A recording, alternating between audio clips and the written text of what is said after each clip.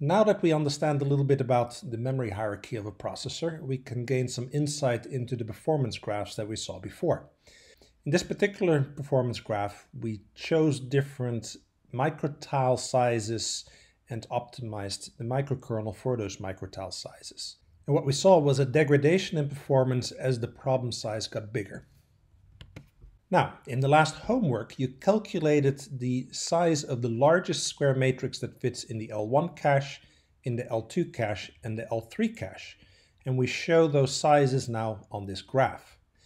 And all of a sudden, you can start guessing at where this degradation in performance comes from. So let's not worry too much about what happens in the L1 cache, but it's pretty clear that we see good performance while the problem size still fits in the L2 cache. Then we see a degradation as the problem size no longer fits in the L2 cache but does fit in the L3 cache.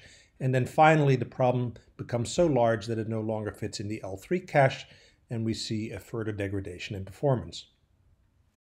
So in this week, we're going to see if we can't improve things a bit so that we get pretty consistent performance for all problem sizes.